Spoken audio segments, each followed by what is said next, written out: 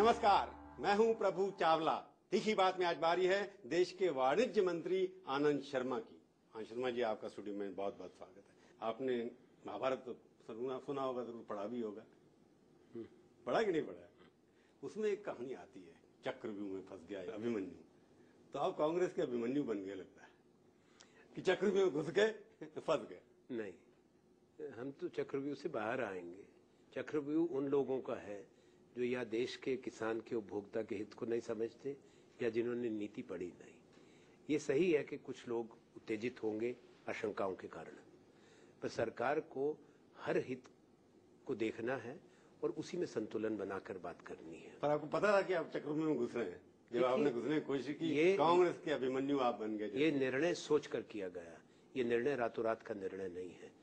ये देश की परिस्थितियों को देखते हुए, विविधता को देखते हुए, किसान की मजबूरी को देखते हुए और जो हमारी, जो गाँव की जो अर्थव्यवस्था है, उसको मद्देनजर रख के कुछ फैसले किए गए हैं।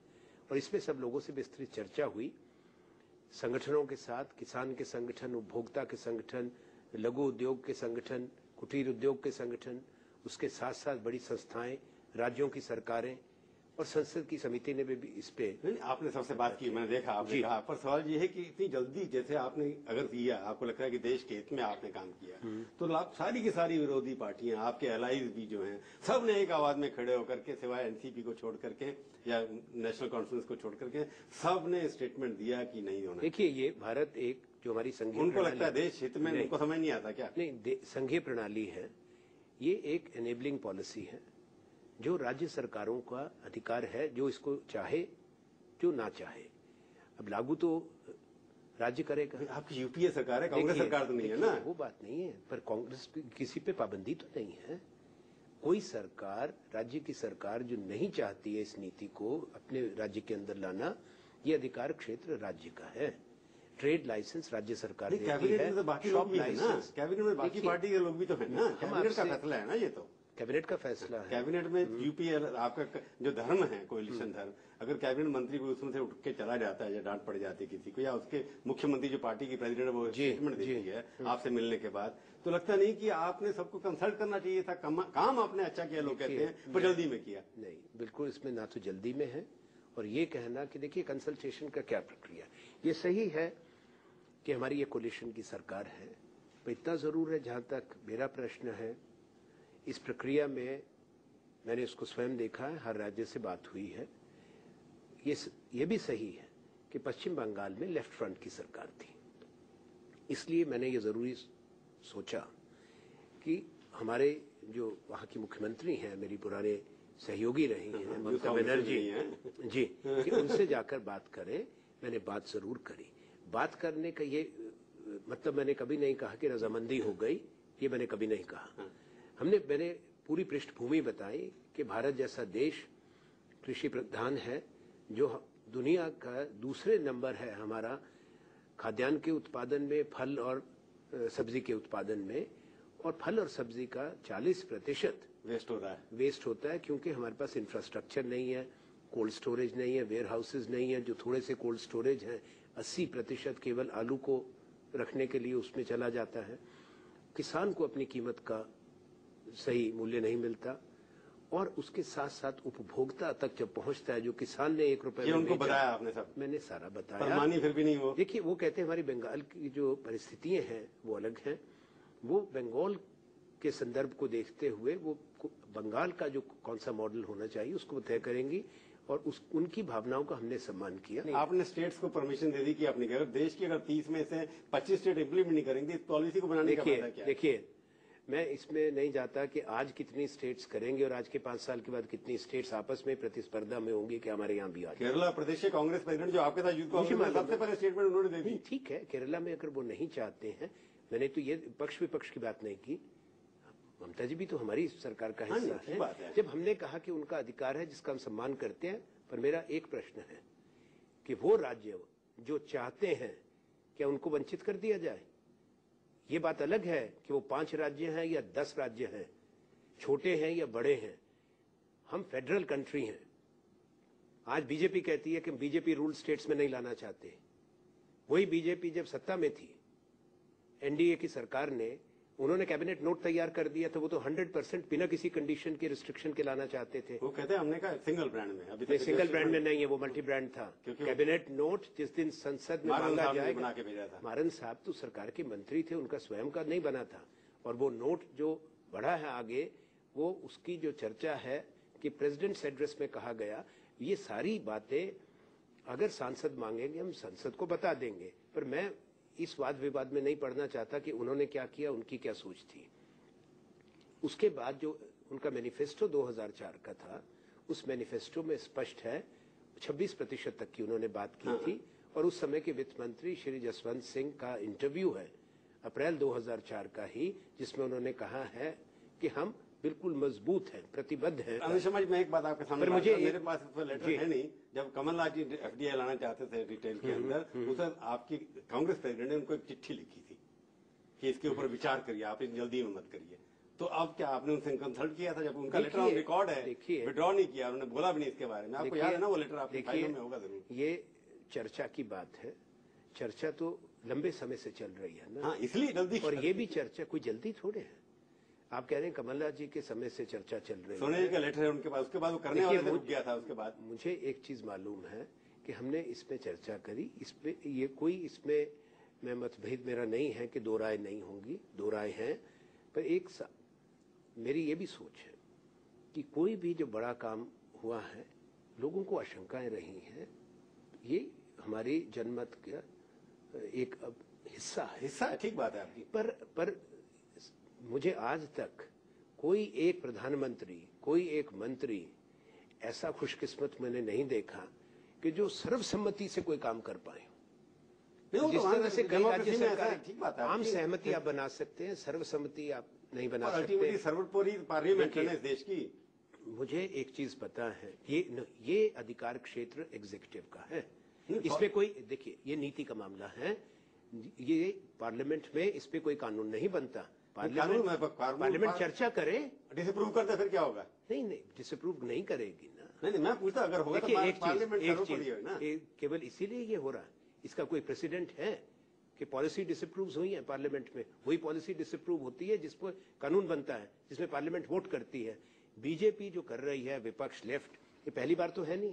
1985 में 1985 में ज़बरदस्त विरोध हुआ राजीव गांधी का जब उन्होंने कंप्यूटराइजेशन की बात की। देश में हड़ताल हुई ये प्रचार हुआ कि ये तो हमारे बच्चे बच्चियों का भविष्य खत्म कर दिया इन्होंने। कंप्यूटर काम करेगा एक कंप्यूटर 20 आदमी का काम करेगा तब ये प्रचार हुआ था या नहीं? हमारे घर के जो- कंप्यूटर आजकल। नहीं आज कंप्यूटर तो है। आज आईटी के क्षेत्र में भारत जो दुनिया का लीडर है आईटी एनेबल्ड सर्विसेज़ का पैंसठ प्रतिशत हिस्सा भारत के पास है। उन्नीस सौ इक्यानवे में डॉक्टर मनमोहन सिंह जी वित्त मंत्री थे। जब उदारीकरण हुआ आर्थिक सुधार आए तब कहा कि अभी तो दोबारा पूरा देश गुलाम हो जाएगा ईस्ट इंडिया कंपनी आ जाएगी। वो तो नहीं हुआ भारत बढ़ गया तेज़ी से आगे। भारत की जो कंपनी है आज वो विदेश की कंपनी खरीद रही है बाहर निवेश कर रही है। नहीं एविएशन पार्लियामेंट नहीं एविएशन सेक्टर खोला। देखिए देखिए बीजेपी पार्लियामेंट को पहले इन्होंने किसी न किसी चीज़ पे रोका। वो काम है रोकना अडवाणी जी अडवाणी जी 38 दिन तक यात्रा करके आए। तो काले धन की बात को लेकर रोका मुद्रास्फीति की बात को रोका अब सारी बात भूल गए।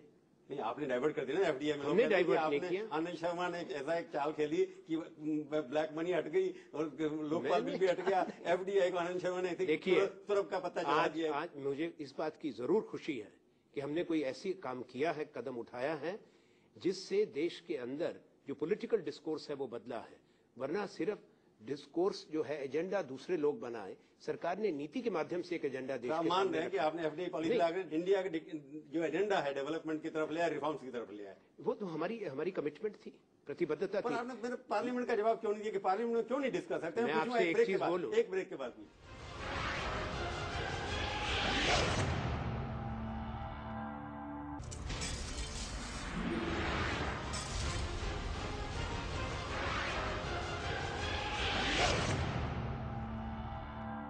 के बात में आपका एक बार फिर से स्वागत है। आज हम बातचीत कर रहे हैं देश के वाणिज्य और उद्योग मंत्री आनंद शर्मा से। मैं आपसे बार बार पहले पूछ रहा हूँ कि आपको पार्लियामेंट जाने से क्यों डर लगता है? जब आपके पास मेजोरिटी नहीं है क्या? पार्लियामेंट की देखिए पहले एक बार कैबिनेट का फैसला जब होता है अगर संसद चल रही है पार्लियामेंट इज़ इन सेशन तो मिनिस्टर की जिम्मेवारी और सरकार की जिम्मेवारी है। कि स्टेटमेंट को पार्लियामेंट में रखें जो हमने रखा। और जो सांसद हैं उनका अधिकार है उस पर चर्चा करें। सांसदों से उनका अधिकार विपक्ष ने छीन लिया। चर्चा नहीं होने देते। पहली नहीं, जनमन मोशन मानने तो देखिए ये लॉज में प्रोवाइडेड ये अधिकार- देखिए ये अधिकार क्षेत्र लोकसभा के स्पीकर का है। मैं इस पर कोई टिप्पणी नहीं करूँगा। स्पीकर रूलिंग आप तैयार हैं कि नहीं? देखिए हम तो हर चर्चा के लिए तैयार नहीं वोटिंग के ऊपर तैयार हैं कि नहीं नहीं मैं मैं इस पर टिप्पणी नहीं करने को तैयार। क्योंकि ये ये करेगा पहले जो। स्पीकर तय करेगी कि किस रूल के तहत है उससे पहले मैं कुछ उस पर टिप्पणी नहीं करने की स्थिति में। जहाँ तक आपके खिलाफ चार्ज यही है ना कि उल्टा यूपी ये चार्ज कौन लगा रहा है? जो बीजेपी वाले जो पोलिटिकली मोटिवेटेड समझ गया मैं बुनियादी आपसे एक बात कहना चाहता हूँ कि इस विषय पे संसद के अंदर चर्चा हुई है लोकसभा में भी राज्यसभा में भी। कमेटी ऑफ़ सेक्रेटरीज ने 22 जुलाई को अपनी सिफारिशें दी थी रिकमेंडेशंस उनकी बैठक हुई कैबिनेट सेक्रेटरी ने चेयर किया वो अखबारों में आ गया। तीन अगस्त को संसद में ये बात उठाई बीजेपी ने वो राज्यसभा के रिकॉर्ड में है। मैंने उसका विस्तृत जवाब दिया। हमने ये भी बताया कि ये नीति आएगी। हमने ये भी बताया कि इस नीति का स्वरूप क्या होगा। इसमें 100 मिलियन डॉलर मिनिमम होगा 50 परसेंट गाँव में लगेगा 30 परसेंट वो तो लिया, नहीं तो अगर ये कहना कि? संसद संसद को मालूम नहीं था संसद को तो सब पता था। चाहते हैं एडजर्नमेंट मोशन डिस्कस करना तो आपको उसमें मैं है? किसी को डर नहीं लगता अगर उनके अंदर है तो। कहते हैं वो उनके लोग बीजेपी के बाकी जो अपोजिशन कहते हैं कि यूपीए जो है उल्टा पुल्टा अलायंस हो गया अब तो। कुछ पता नहीं कौन किसके साथ है इसलिए आप भी डर गए। भाई वो जब सदन में बात आएगी सारी बात स्पष्ट हो जाएगी। आपके साथ डीएमके नहीं आपके साथ टीएमसी नहीं आपके- सोचना है। उन्होंने स्टेटमेंट दी उनकी अपनी राय है। इस विषय में उनकी रिजर्वेशन हैं। पर अगर ये सोचना कि वो बीजेपी और लेफ़्ट फ्रंट के साथ हैं सरकार के विरोध में वो नहीं होने वाला। आपके खिलाफ वोट नहीं करेंगे आपको लगता है? मुझे नहीं लगता कि देश के अंदर कोई भी ऐसी परिस्थिति बनेगी जिससे राजनीतिक अस्थिरता हो और कोई चिंता की बात हो। पर मैं आपसे आपकी कांग्रेस पार्टी आपके साथ है कि नहीं है? सोने जी का नाम लिया क्योंकि वो इस विषय पर सरकार के विषय पर देखिए, जो- कम बोलती है कि सरकार के ऊपर छोड़ देती है देखिए सोनिया जी हमारी अध्यक्षा हैं। और हमारा ये कर्तव्य बनता है कि उनको जानकारी ज़रूर दें कि सरकार अगर कोई बड़ा कदम उठाती है। पर सोनिया जी सरकार के जो काम है उसमें इंटरफेयर नहीं करती उसमें दखल अंदाजी नहीं करती। उन उनकी एक बात स्पष्ट थी कि एक किसान का छोटे किसान का उसका ध्यान रखा जाए कोई भी नीति अगर बनती है। और दूसरा जो हमारा छोटा उद्योग है जो माइक्रो और स्मॉल एंटरप्राइजेस हैं उनका विशेष रूप से ख्याल मैं कहूँगा कि जो 30 परसेंट का ये जो प्रोविज़न है ये उनके सुझाव के बाद ही हमने विचार करना शुरू किया कि ऐसा होना चाहिए एक बार बताओ लोग कहते हैं ये भी चार्ज है कि आपने अमेरिका के प्रेशर में क्योंकि वहाँ पर बिल्कुल गलत। है, आप वहाँ पर सडनली आए वहाँ से तो मनमोहन सिंह जी ओबामा को अखबार में देखा होगा आपने मैं अपनी तरफ़ से नहीं करा ये कोई बात उसके बाद सडनली आकर के आनंद शर्मा जो पहले छह साल से काम कर रहे थे लोगों से कंसल्ट कर रहे थे कब मिले? प्रोसेस कर रहे थे कब मिले? बाली वाली जब गए बाली में हाँ बाली तीन अगस्त के बाद हुआ था पहले हुआ था नहीं आपका जो नहीं, एक मिनट। नहीं नहीं कैबिनेट रेजोल्यूशन नहीं, एक मिनट एक कैबिनेट रेजोल्यूशन कब वो बाली से पहले कैबिनेट नोट चला गया था। इंटरमिनिस्ट्रियल कंसल्टेशंस कंप्लीट तो आपका ये चार्ज गलत है ना? बेबुनियाद है और शरारतपूर्ण है। मैं वही बार बार कह रहा हूँ कि देखिए, आपको जल्दी क्या थी इसके अंदर? तो जल्दी की तो कोई बात नहीं। एक मिनट बात करते हैं। यूपी का चुनाव? इसके ऊपर हार सकते हैं कि नहीं हार सकते आप? कैसे चुनाव से क्या संबंध? चुनाव नहीं हारेंगे। चुनाव के के जब शुरू कर देखिए तो- कोई नहीं एक दो व्यक्ति अगर हमारे साथियों के मन में कोई आशंका है हम सांसदों से बात स्वयं करेंगे। आज किसानों के सारे संगठन देश में इसके पक्ष में बोल रहे हैं उपभोक्ता संगठन इसके पक्ष में बोल रहे हैं। तो बाहुल्य वोटर्स में किसका है? मैं प्रश्न पूछना चाहूँगा कि अगर किसान का लाभ होता है उससे चुनाव में नुकसान कैसे होगा? उपभोक्ता का लाभ होगा उससे चुनाव में नुकसान कैसे होगा? ये एक दुकानदार हैं इस देश अच्छा और किसान कितने हैं? डेढ़ सौ हैं? इस देश के अंदर सत्तर करोड़ किसान हैं। तो डेढ़ करोड़ नहीं एक मिनट आप देश की बात कर रहे हैं यूपी की बात कर रहे हैं? नहीं, देश की नहीं देश के अंदर तो छोटे दुकानदार को कहाँ उसका हित हुआ है? भारत में आठ हज़ार शहर हैं आठ हज़ार एक शहर और महानगर। उसमें से केवल उन शहर महानगरों में महानगरों में जहाँ दस लाख से ऊपर की आबादी है वो केवल तिरपन है। उसमें से भी काफ़ी राज्यों की सरकारों ने कहा जिस तरह यूपी में मायावती जी ने कहा कि मैं लागू नहीं करूँगी तो यूपी में तो लागू नहीं होगा। जब तक कोई सरकार की के एक पिछले दो साल के अगर किसी ने रिफॉर्म्स का कोई इनिशिएटिव लिया आप ही ने लिया मैन्युफैक्चरिंग पॉलिसी बनाई है आपने। ये एफडीआई भी आपने बनाने की कोशिश की मैन्युफैक्चरिंग नहीं, बना दी, कोशिश नहीं। नहीं कोशिश की उसके बाद मैन्युफैक्चरिंग पॉलिसी पे किसी ने ऑपोजिशन नहीं की क्योंकि देश के अंदर मैन्युफैक्चरिंग बढ़ेगी इससे भी बढ़ेगी। इससे तो शक होने लगता है कि बाहर के लोग आके कब्जा कर लेंगे नहीं वो शक तो पहले भी बड़ा हुआ था। देखिए जब यहाँ पर सिंगल ब्रांड रिटेल आया तो कहा कि आपका जो बिग जोस है शॉपर स्टॉप है एबनी है बंद हो जाएँगे। कोई बंद नहीं हुआ। कोई दुकान नहीं है। रिवाइज करेंगे नहीं आप। नहीं जो एक बात देखिए जो नीति है इसमें नहीं नीति को पहले देख लिया जाए कि कैसे लागू होती है और इससे लाभ होगा। एक करोड़ रोज़गार एक साल में पैदा होगा। आपसे तिखी बात करूँ आखिर में आखिरी सवाल पूछा कि आप इसको रोल बैक किसी फॉर्म में करेंगे कि नहीं करेंगे? रोल बैक शब्द मुझे पसंद नहीं है। परिवर्तन करेंगे कुछ इसके सोच समझ के किया गया है। इसमें परिवर्तन का कोई स्कोप है? इसमें इसमें हर सेफ़ गार्ड है। इसमें हम इसमें और कोई इम्प्रूवमेंट नहीं कर नहीं कर सकते। ये जो हो गया एक बार पत्थर की लकीर होगी। नहीं वो पत्थर की लकीर की बात नहीं। सबसे चर्चा करके चिंतन करके सोच के और जो देश के हित में है जो किसान के हित में है। मतलब परिवर्तन का कोई स्कोप नहीं है इसमें अभी आपको लगता है। इम्प्रूवमेंट का जैसे आपने कहा। हमने जैसा कहा ये सोच के बनाई गई है। पर इसलिए करो पार्लियामेंट में आप कहते हैं आप जाओगे नहीं ज़रूरत नहीं है इसके लिए जाने की पॉलिसी मैटर में नहीं जाते नॉर्मल पार्लियामेंट क्या आपकी बात आज तक कोई सरकार नहीं, गई मैं कह रहा हूँ आपकी बात है पर जब ऑपोजिशन और जैसे आपने जब ऑपोजिशन फेस करेंगे ना। चीज़ें आपने आप चिंता मत करिए। अगला सप्ताह आएगा स्थिति स्पष्ट हो जाएगी सरकार भी रहेगी और नीति भी रहेगी और विपक्ष जो है पूरी तरह से एक्सपोज होगा। चलिए हम आपको देखें हमारे स्टूडियो में आए बहुत बहुत धन्यवाद। तो ये थी आज की तीखी बात। तीखी बात का ये कार्यक्रम आपको कैसा लगा? आप अपनी राय हमें ईमेल के ज़रिए भी भेज सकते हैं। अगले हफ़्ते आएगी बारी किसी और हस्ती की। और उनसे हम करेंगे तीखी बात इसी चैनल पर, इसी समय, तब तक के लिए प्रभु चावला का नमस्कार।